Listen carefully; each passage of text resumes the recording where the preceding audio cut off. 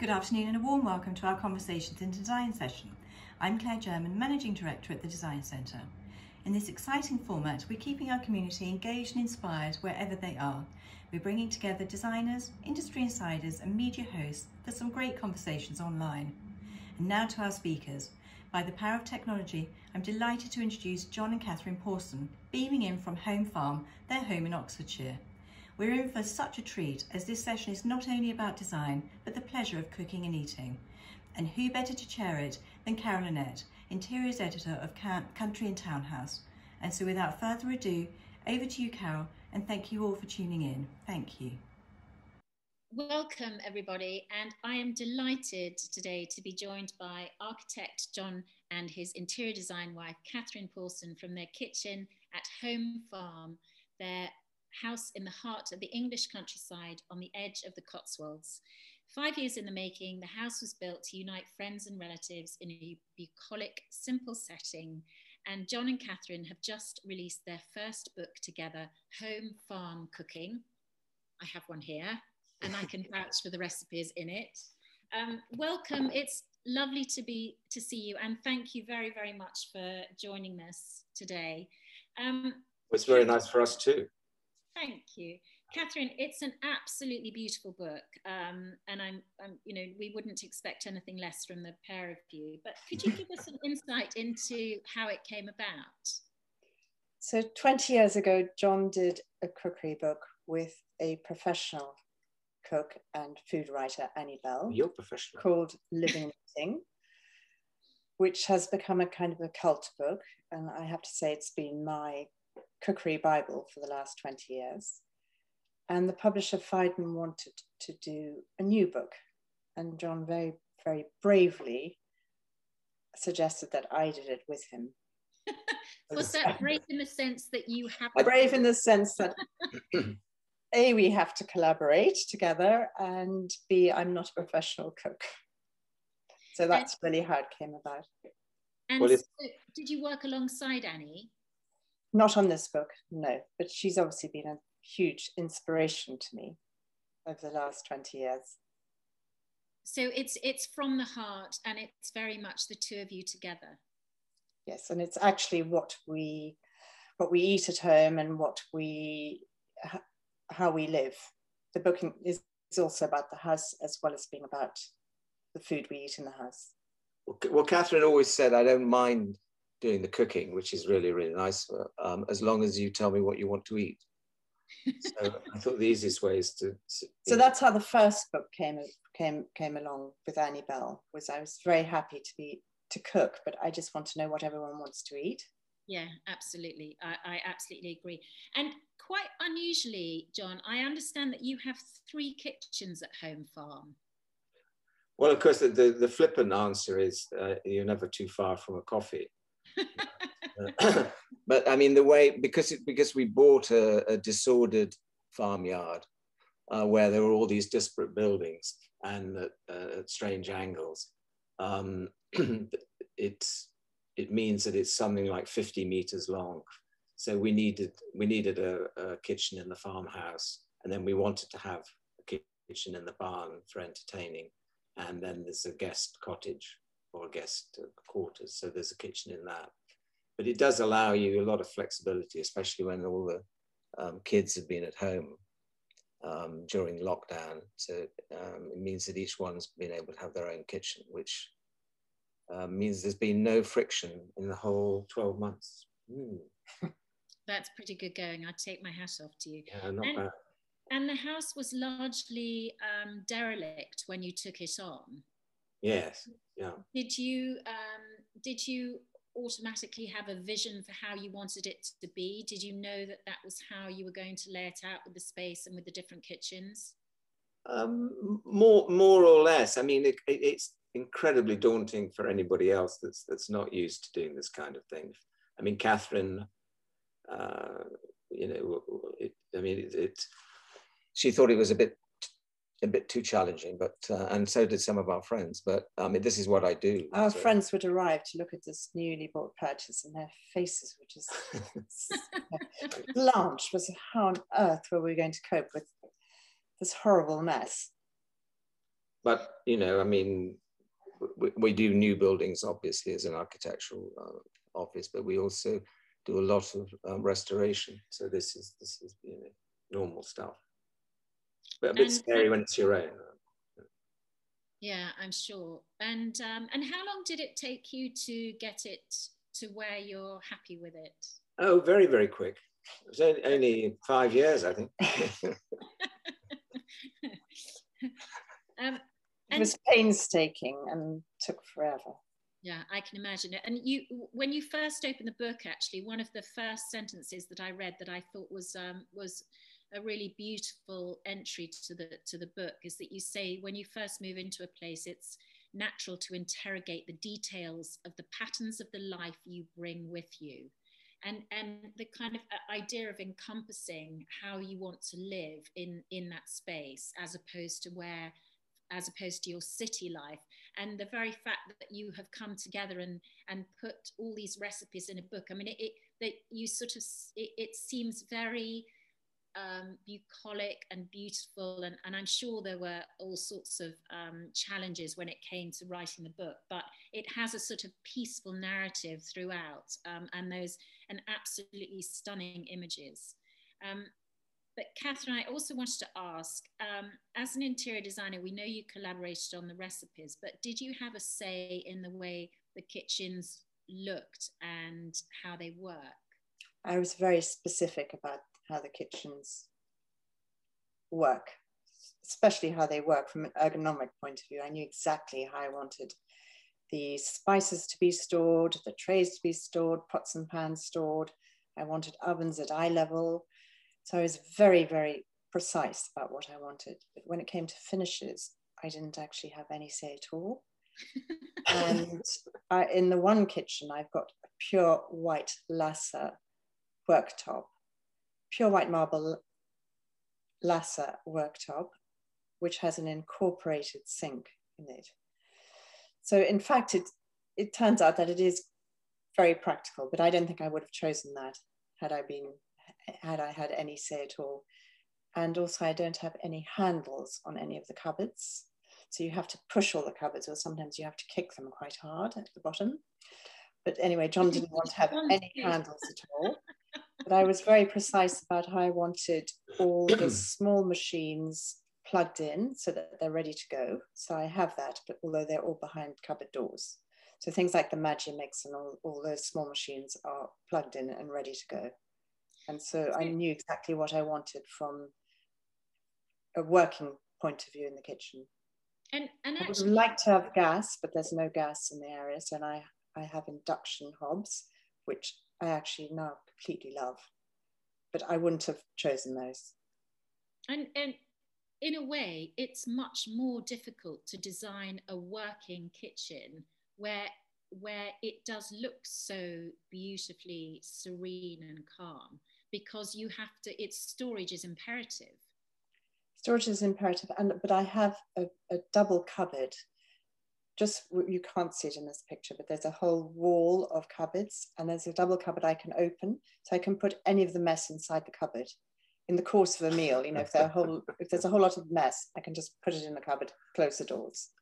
We had one brilliant um, uh, Danish chef who came came over to uh, to, to do a lunch, and uh, he they didn't want any of the you know the mess on show for for this uh, lunch, so he put all all the saucepans he'd been using he put them without cleaning them behind the cupboard door or back in the oven.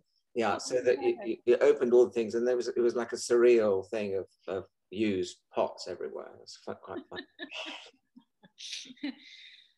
Um, and what about, so John, talk us through some of the textures and surfaces because um, that's a very, very um, brave, you know, a, a lot, I'm sure a lot of the kitchens that you design actually are not are not used that often. And so I can imagine, you know, a white marble sink, um, you know, in a lot of places would be absolutely fine. But in a kitchen where you're going to be um, using it a lot, that's quite a challenging thing. Do you do you put something like like that in, knowing that it's going to age and have a patina, um, or is it very much about you? It has to remain pristine. No, no. I mean, I, uh, I mean, I'm.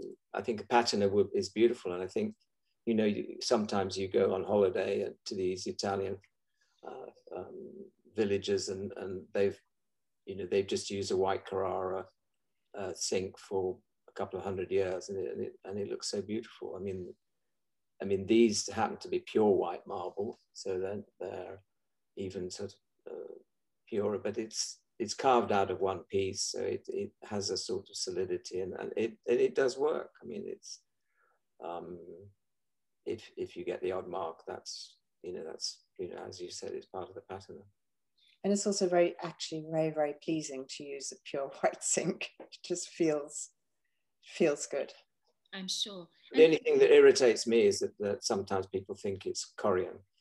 So it's, I, I, you're like, not all this trouble and that. but once they touch it, because it's, you know, obviously marble stays cold. So it's. Hmm. But I, I'm sure, uh, uh, really, if they if they know you though, surely they should know that it wouldn't be corian. well, funny enough, not everybody knows me. So. Um, in the barn kitchen, the, the work surface is um, stainless steel. Stainless steel, but it's well. That's what I wanted to go back to actually. If we may, to um, the stain, the image with the stainless steel tops. Yeah. Um, because it's quite uh, it's completely seamless. There are absolutely no joints in it at all, and again, the ink is integrated it almost looks like a very thin slate veneer, but but it it is actually steel. It's um, raw stainless steel, and it took ten men to carry it into the house. Wow. The tabletop and the uh, kitchen worktop. Catherine wasn't uh, didn't necessarily think that an idea of a stainless steel dining table was, but it's interesting when you when you touch it because of its its finish, the the the rawness, it's it's very kind of silky feeling. It's strange. And actually feels very warm too. Mm. But if I need to move the table by a few inches, no, it's not it's not going anywhere. And, and it doesn't do, rock either. And I do have tables I can add to it, so I can actually seat 20 on on the one table. And and being steel, does that have any sort of patina or age, or do you have to be careful with it? I mean, I'm guessing sort of knife marks or something. How it, does it wear? Well, it's very, it's very, very uh, hard, um, uh, and because it's it's raw stainless steel, it has these uh, watermarks, so it has no sort of, um, it's got no uh, you know, it's, its pattern is natural. It's just it's just the the raw finish. So you you don't have it is it's sealed, but you don't have to do anything. It's it's quite impervious. And you can put hot plates down anywhere because yeah. it's ah. So actually, so I guess it's practical. Yes. That's got a double thumbs up. A double tick yeah, from the wife. Yeah. um, let's talk about some of the recipes Catherine, where did the inspiration come from for the things that you have in the book? So I think most of my biggest inspiration is my own mother. So a lot of I learnt to cook through my mother, and so quite a few of the recipes have quite a 70s kind of things like um, hazelnut meringue cake and profiteroles and quite a 70s feel to them. Um, so she's, she's my greatest inspiration. And also John's mother was a huge inspiration to me as well. So I have her very famous Yorkshire pudding as a recipe in the book. And then my other um, inspirations came from, I, I have some very favorite London chefs who I asked to collaborate and each of them have given me two recipes which are in the book. So that is Sally Clarke, Skye Gyngell, Claire Ptak, Ottolenghi, Prue Leith, who's our next door neighbour, and Carole Bamford, who's also a neighbour. So I've um, they they um, have all contributed with two recipes to the book, and otherwise my inspiration came from friends and just restaurants I go to, um, the many many books I have. So I have many adapted recipes, um, so that's my main inspiration. And the stuff that worked out with Annie Bell. Yes, and the stuff with Annie Bell, which I've been cooking for 20 years. And do you have do you have um, vegetable gardens and um, do you go foraging and things? I do go foraging. So at the moment we're doing a lot of wild garlic, wild garlic pesto. I'm putting on everything now. and I've been making wild uh, nettle risotto. Which is my favorite. But I don't actually have a kitchen garden. I just grow the vegetables that I completely love, like broad beans. I've got an obsession by broad beans and zucchini. So I grow those, but I don't actually have a kitchen garden yet. It is a work in progress, but I haven't quite got round to doing it. Um, because we're very spoilt because we have a wonderful kitchen garden in the village, which is in a National Trust house. And I have Daylesford very nearby as well. So I, I haven't actually done my own kitchen garden yet. And I have chickens next door as well from the farmer. Oh, perfect. Are they all named? Have they have they all got names? Yeah, and they're so free range. Well, they're ranging, 50 of them. So. They're ranging all over the all over the road. So I've got always fresh eggs. We were amazed by because the, the local hunt, uh, they sometimes exercise the hounds through through the uh, village, and then and they stopped, and they the the the um, the master knows the name of all forty dogs or whatever they are. It's incredible. And the, but to me, they all look the same. Yeah. And they're much bigger than you think. My God. Yeah, Sorry, I, just think it make a clatter when they come through. do. What, what about the challenges, um, John, of writing and photographing the book? Did you get very, very involved in how it looked? Uh, yes. Well, the, the, the book was designed by Nick in, in the office, uh, who's very, very particular. Um, and also Gilbert, who photographed the food, had never photographed food before. And I was very keen uh, not to use, uh, you know, somebody who's very set in their ways. So, but it did, it, it was a learning curve. So we did, you know, there was a lot of experiment, experimental sort of stuff going on. But, and of course, you know, the, the modern ways to photograph food from overhead, like these two shots. And I quite like it at an angle. So there was a bit of um, toing and froing or arguing about it. But we, and we ended up actually probably photographing um, from three different angles, which prolonged things a bit. And very, very agonizing food photography. I've learned that. and can I ask what, whether everything has been photographed on a white plate? Was anything allowed to be photographed on anything other? Uh, there's, oh, there's a hilarious moment where, because I, I, there were too many cooks in the kitchen, obviously, and so I, I left the I left it, left them to it.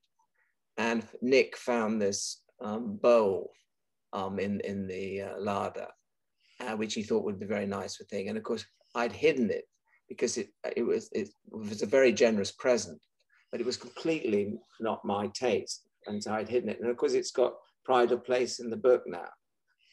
And he did say he could he could turn down the colours, but uh, he, we didn't in the end but as you can see, that one is photographed on a cracked dish. Oh yes, I hadn't noticed.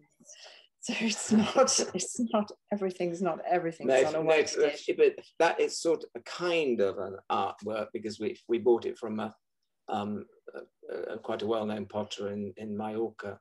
And uh, we were at the studio and I saw it in the back and I said, oh, I'd like that. And she said, no, no, well, that's a reject. And I said, well, I love the, you know, the Japanese idea of imperfection. I mean, it was quite a good selling technique of hers, I think, anyway, so. But most other things are from John's, the plates, the knives, the forks, the salt, the pepper, the glasses, the pots, the pans. He's designed all of them. Yeah, all, all this, all the stuff on the right, yeah, those all are tabletop. Our, those are our office design, yeah. And John, what about making the um, lettuce behave? Did you have problems trying to sort of? and this colour, this colour on that. Look at all that colour. I can't. I mean, that, no, but the but the first proposal was, was to have a cookbook that was just white food and possibly a bit of green, but uh, it was explained to me that um, you need tomatoes and, and blood and things like that. Anyway. Well, it looks it looks absolutely beautiful. Um, Catherine, what about, tell us about some of your favorite recipes. my very favorite recipe is the one of that of the image of the ricotta stuffed courgette flowers. Yeah, delicious. Because it looks so pretty and it's the kind of dish you put on a table and everyone does go, wow. And uh, those zucchini flowers are there for such a tiny window. And so they're so precious and they're very fiddly to make, but I just love that because it's delicate and it's very, very light to eat. So that's my very favorite. The other one you see there is grilled peaches with mozzarella and salad, and that's just so easy. And I mean, it's sort of no cooking. Again, it looks very, very pretty. And then my favorite pudding is the profiteroles, which was in the image before. It's just indulgent and very indulgent. Yeah. Absolutely. And and what about when you eat together as a family? Um, what what would you serve for the when the family all come together? And I understand you have a grandchild now as well. Is that right? We do. Yes, we do. So basically, I nobody has any say in what we're having. So I just feel in control. It's the one place where I feel in control. I'm in charge of what time we eat and what we're going to eat. And I go mad when people come in and try and pick on things while I'm cooking. Um, so we eat, John's very particular about meal times. He likes everybody to, he likes the table properly laid and there's no such thing as a TV dinner, which is quite annoying because I rather love a TV dinner, but we don't ever have TV dinners. Um, we try and avoid telephones at the table, but it doesn't always work. So he likes everything, you know, like a proper meal, proper conversation. So during lockdown, there's been a lot of meals maybe too many for me. But he likes, you know, napkins, candles at night, firelit. Which I do. That's my yeah, contribution. He does do that. And he and washing up. And he washes up. Thank ah, you. okay. It's, it sounds like you've got the perfect partnership. I tell you. Uh, yeah, only because Catherine is so perfect. Oh. She's married to an imperfect person. And this, um, what's this wonderful cake? The plantain lemon cake with pistachio and pomegranate. And that was um, John's birthday cake. And the other image is actually of a Christmas, which, which has yeah. which actually has sunshine coming through the window, which is rather amazing during Christmas. But you can see the very bare leaves on the trees. Oh yes. Um, so and that, Catherine's mother. Yeah. Yeah. Oh, wonderful. And I'm glad to see that the dogs are allowed in the kitchen because my dogs, that's what they do. They go and sit underneath the table in the vain hope that we're going to drop something for them. I'm afraid the dog has access all areas in our house. Don't worry, we'll let you off. And where can we where can we buy this glorious book? Well, it's a, I think it's the I think the term is it's available at all good booksellers, but it's certainly available. Um, and Phaidon have published it, um, and it and it came out um, the end of last month, so it's it's it's it's available. And would you do another? Maybe in twenty years' time. no, no, no. Yeah, no, no. It's funny how you forget the, the forget the struggle, but yeah, no. Well, I uh, congratulate. It was great fun to do. It was I was a learning. I learnt a lot by doing it. Well, I'm going to cherish my copy, and um, I have done two recipes which I can highly recommend. One was the slow cooked shoulder of lamb, and the other one was the za'atar chicken, uh, which was an absolute revelation. Um, so thank you both very much indeed. It's been an absolute delight. well, thank you. Thank, thank you, Carole. Yeah, thanks. It's been it's great. I look forward to trying, um, trying, trying. Well, most of them actually. I'll let you know how I get on. There's only a hundred. we want details. Okay. Thank you so much.